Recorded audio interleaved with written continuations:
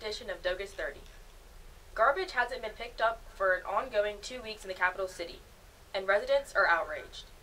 The dispute has stirred serious controversy amongst citizens and city leaders. Here's Demarius with the first look. Good evening. I'm here at Cornerstone Church where residents met to discuss the city's garbage crisis. City leaders, including the mayor, city councilman, Kenny Stokes, and residents were all here unified to discuss the progress going forward. Garbage hasn't been picked up for an ongoing two weeks in the capital city, and residents are outraged. This dispute has stirred serious controversy among citizens and city leaders.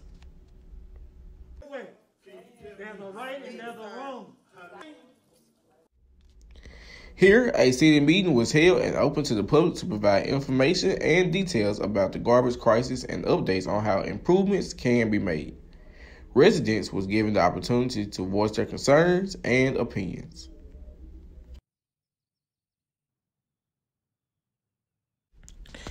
Jackson Mayor Chokwe Lumumba gave a speech which addressed contract disputes which led to the garbage not being picked up.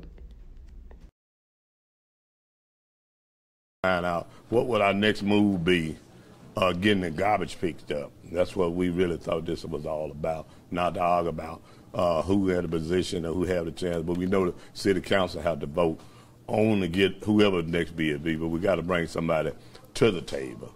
So uh, that's why we wanted to make sure that we have a good understanding what's going on. We didn't come out to bring your folks out to agree with me or not to agree with me. We brought them out to tell the people when the cameras, you go back and post your, to tell the people that we found out that we might get our garbage picked up uh, in three weeks or four weeks. But we still left tonight not knowing when the people can expect their garbage to be picked up. And we had the mayor in the house and we, that's what we were trying to pin him down to give us some kind of reason when we could get out about it. That's why we hired him to be the mayor. And we listened to him as a mayor, then he go by the city council. And then bring it back to them, they vote on who they're going to get to bid. This is Demarius Jones with three on your side. Alcorn had its first ever fishing rodeo behind Complex D. Here's more of the story. I'm Joy Thornton, and I'm here at the campus fishing rodeo behind Complex D. Let's see what's going on. Alcorn State University hosted its first annual fishing rodeo this past Wednesday. Any student with a gold card was able to attend. Fishing poles were available at the event, or students could bring their own. I am the campus union coordinator here at Alcorn State. Tamia, she caught the first two fish of the day. Um, I've never fished before actually. But yeah, I caught two two little fish. It seems pretty easy. It's chill. Uh, I was just encouraged by my boss to come out. I think the process is pretty easy. He explained you just push the button, cast it out. Tamia showed me how she casts her pole.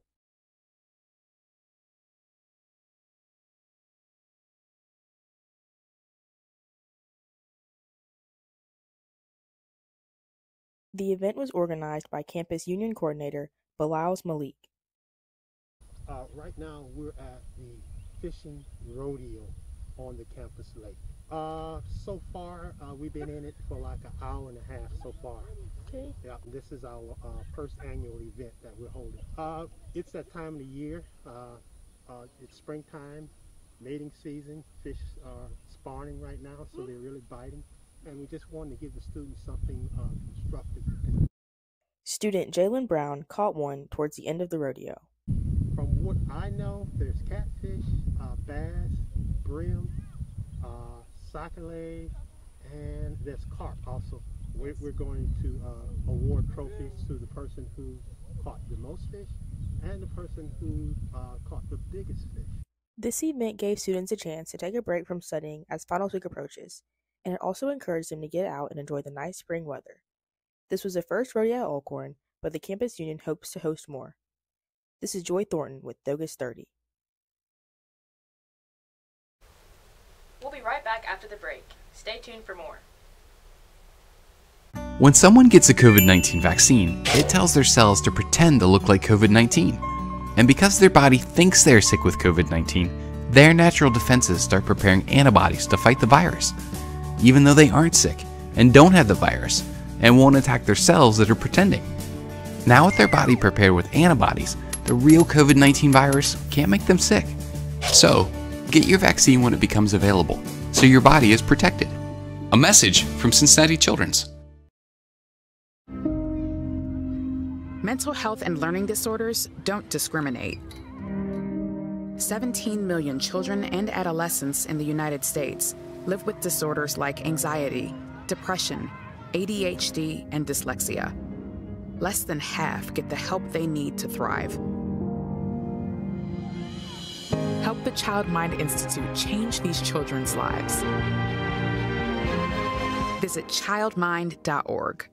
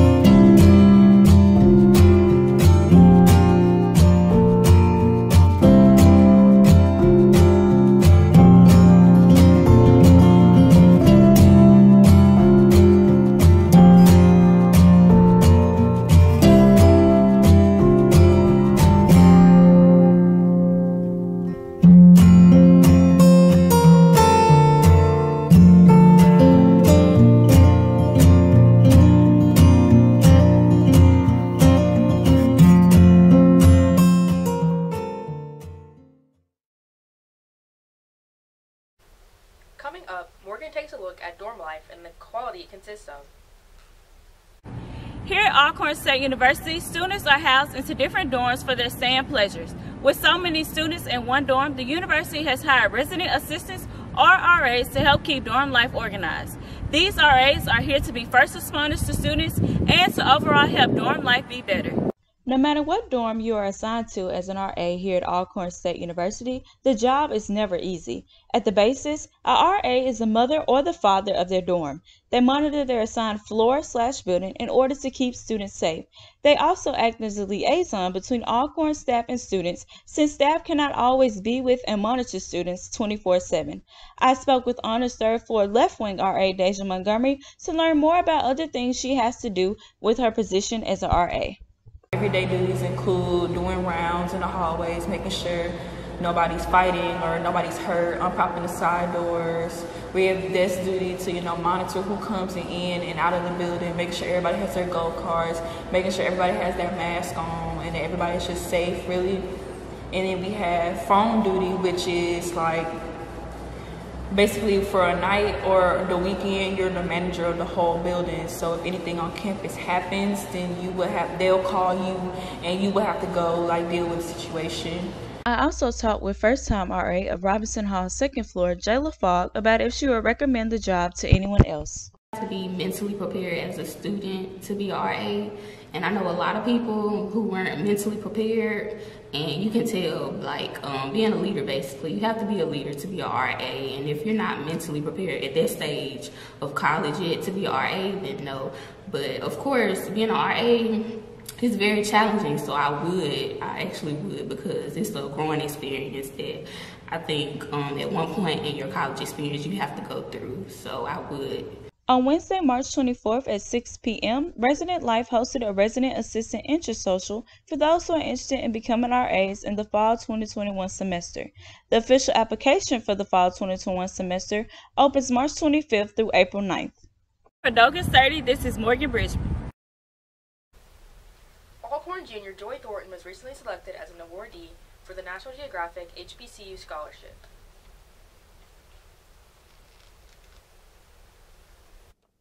This is Charlie Bow, and this is Dogus 30.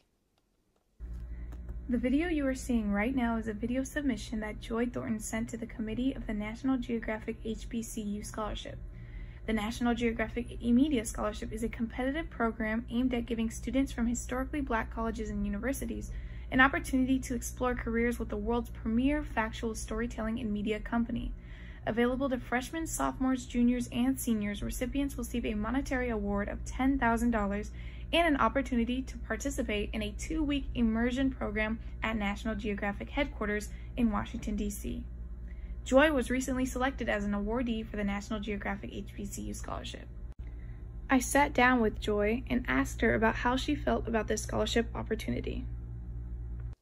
Since National Geographic is such an old and kind of respected organization, I feel like partnering with them will have a great impact on the rest of my life. Um, they do a lot of great storytelling, and I feel like it's important for HBCU students to contribute their perspective, and the stories they tell are not really um, heard that much, so I feel like this will also get to amplify like other HBCU students and other um, mass comm and journalism um, students. She expressed her excitement for this opportunity and the great things she can experience from receiving the scholarship money to visiting DC. I'm excited to be the first student at Alcorn to receive the National Geographic Media Scholarship for HBCU students. I'm really excited to go to DC this summer and use the scholarship money for um, anything school related, like uh, getting here, gas, um, groceries, stuff like that. Just stuff that I'll need anything in the future. And I've never been to DC before, so I'm excited to go this summer. And I've already been talking to my mentor, um, Lauren Jackson, and she's been premier- preparing me and getting me ready. Um, I know it's going to be a lot thrown at me at once, but I'm beyond excited for the opportunity. I'm Charlie Bow, and this has been Dogus 30. Bryana took a look at what the multicultural departments at Alcorn have to offer at their spring social. Let's see what fun foods and culture she got to explore. This is Bryana Stokes reporting to you for Dogus 30. On Thursday, April 13th at 3:30 p.m., the International and Multicultural Students Organization held a multicultural spring social.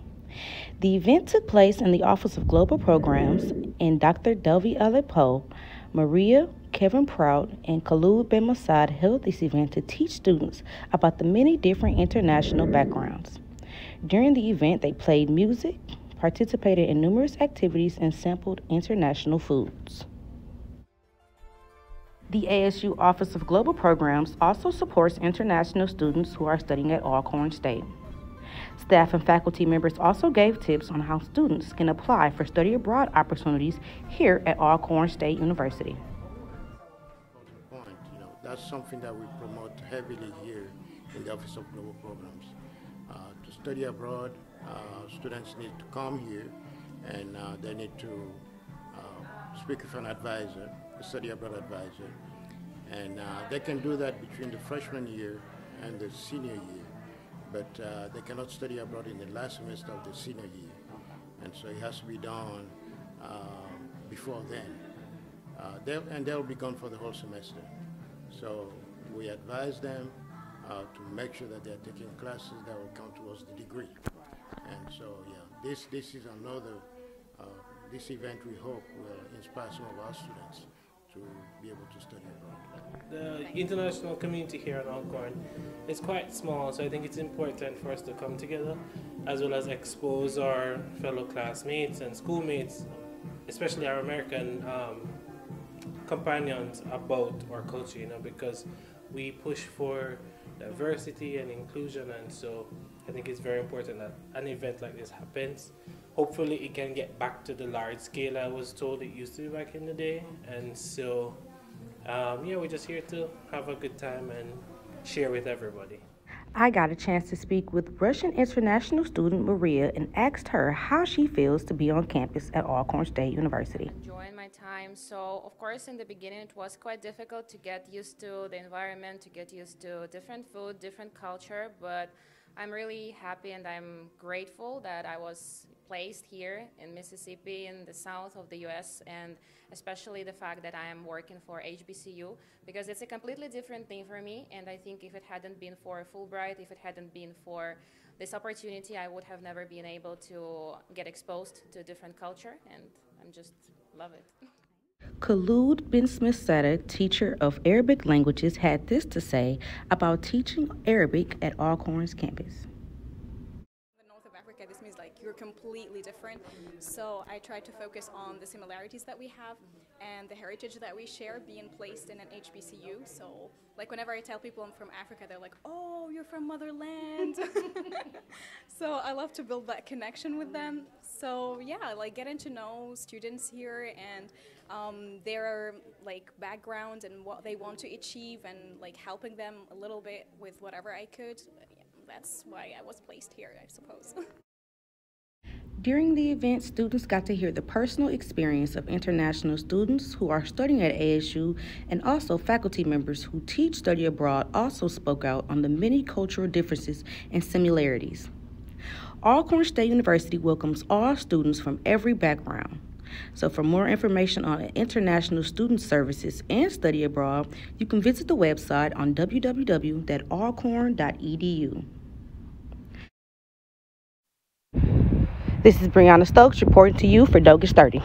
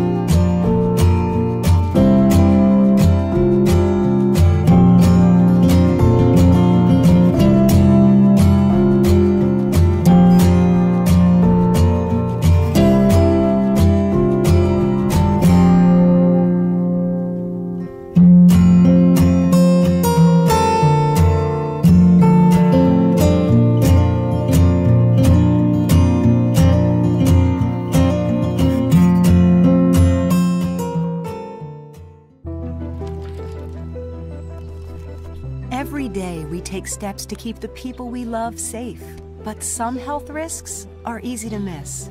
Ticks hiding in the yard can spread germs that can cause Lyme disease and Rocky Mountain spotted fever.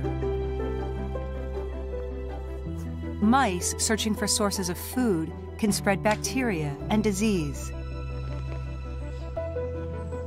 Mosquitoes breed in standing water and can transmit illnesses like West Nile virus and Zika virus.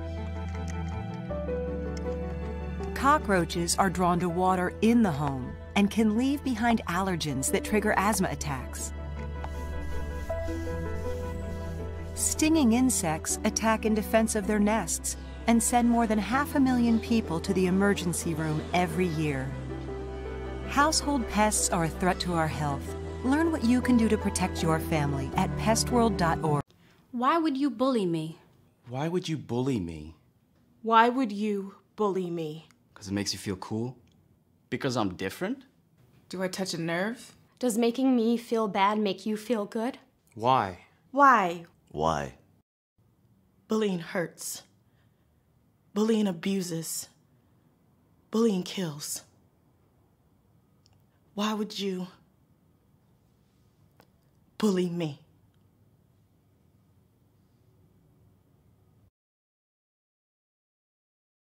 As an Olympic athlete, I prepare for everything.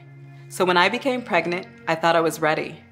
But at 32 weeks, I was diagnosed with severe preeclampsia and had an emergency C section. Looking back, had I known the warning signs, I would have talked to my doctor sooner. Too many women die of pregnancy related complications, and most are preventable. If you or someone you know is pregnant or recently had a baby, learn the warning signs. It could help save her life. Hear her. Mental health and learning disorders don't discriminate. 17 million children and adolescents in the United States live with disorders like anxiety, depression, ADHD, and dyslexia. Less than half get the help they need to thrive. Help the Child Mind Institute change these children's lives. Visit childmind.org.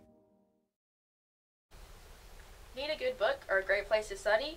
Jalen has more on the bookstore and how it can benefit you as a student.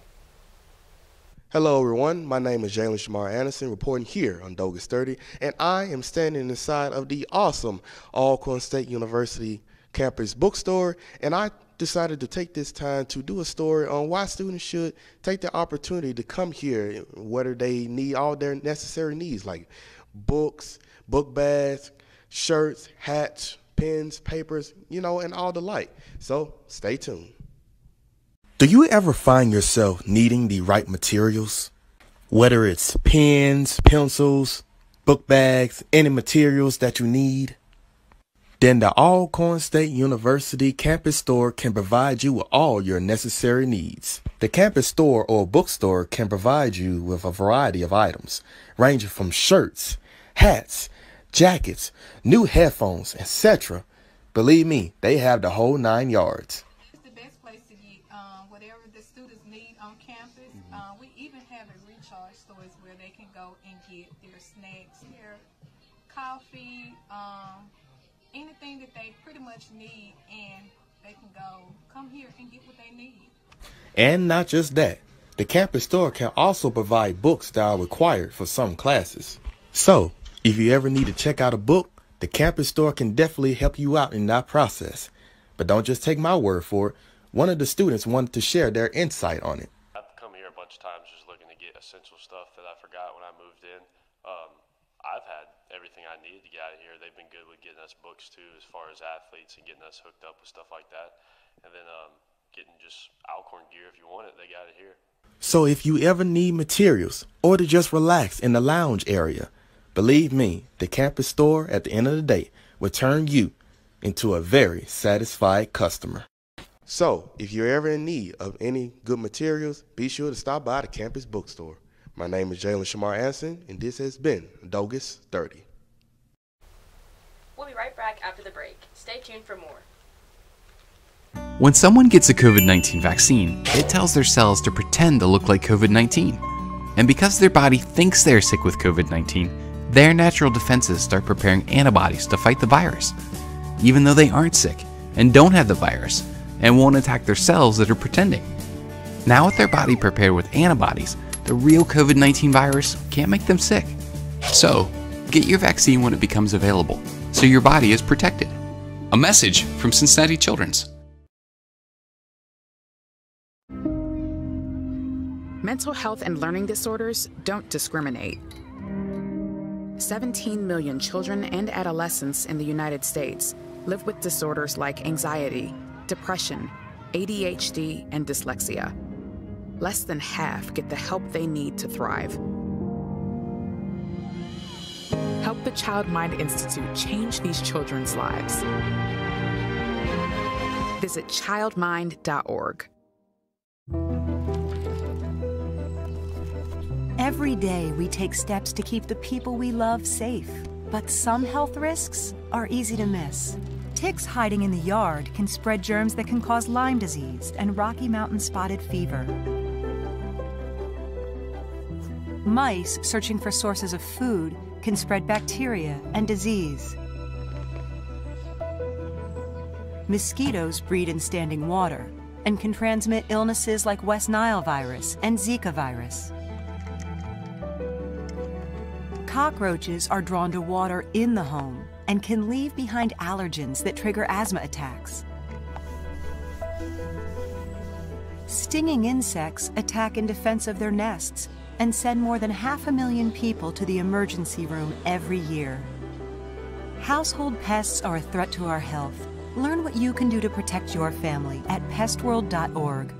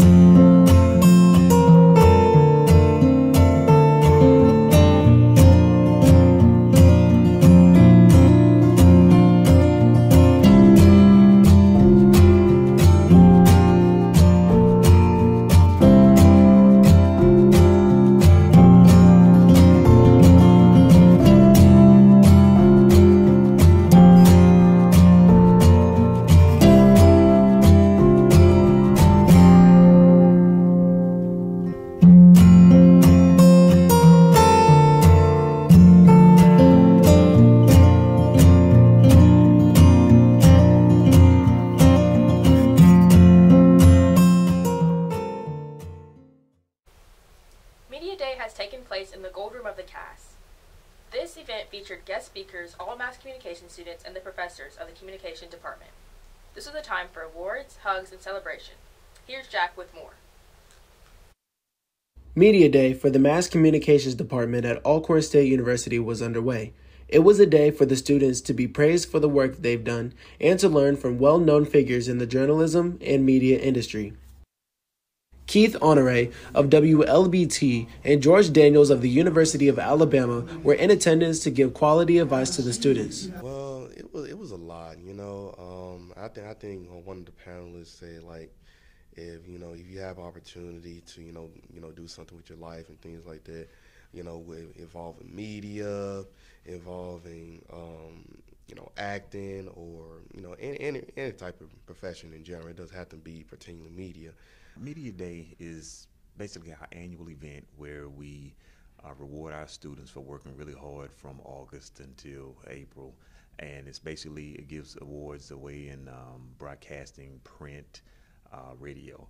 And it also gives the kids a chance. We bring on panelists and professionals who are in the field and gives the kids a chance to kind of uh, press the flesh with them, uh, try to get cards from them, uh, try to see if they can get internships, possibly jobs, and it's hopefully it's advantageous for them. As Communications Department looks to produce more aspiring journalists for years to come. I'm Jack Butler reporting to you for Dogus 30.